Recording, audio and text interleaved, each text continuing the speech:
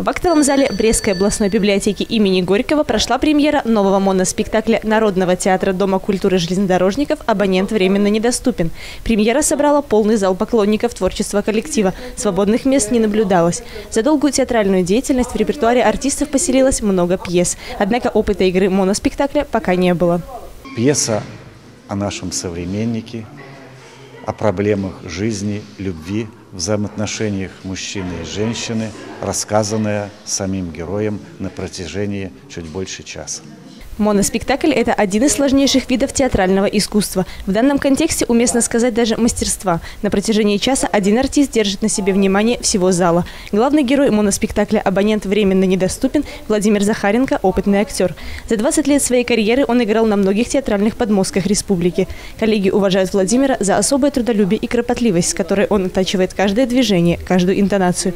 Поэтому они уверены, что премьера моноспектакля запомнится зрителям. Мало кто так ну, помечает э, все там всякие моменты, то, что говорит режиссер, то, что нужно делать, то, что...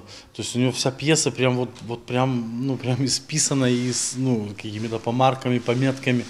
То есть он очень точен, очень правилен, и за что ему очень большое спасибо.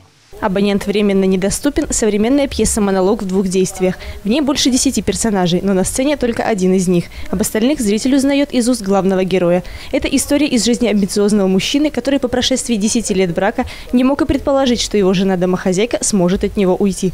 Во время поисков уже бывшей супруги мужчина размышляет о своих упущениях в отношениях, ищет зерно истины в ее поступке. И обо мне ни слова? И что, ушла из дома? Ну а когда это позже она перезвонит?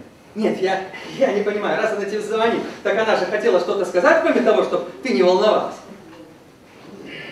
Да. Чудеса да и только. Анастасия Ноздрин-Плотницкая, Александр Воронин, Дмитрий Лазарчук, телекомпания Бук ТВ.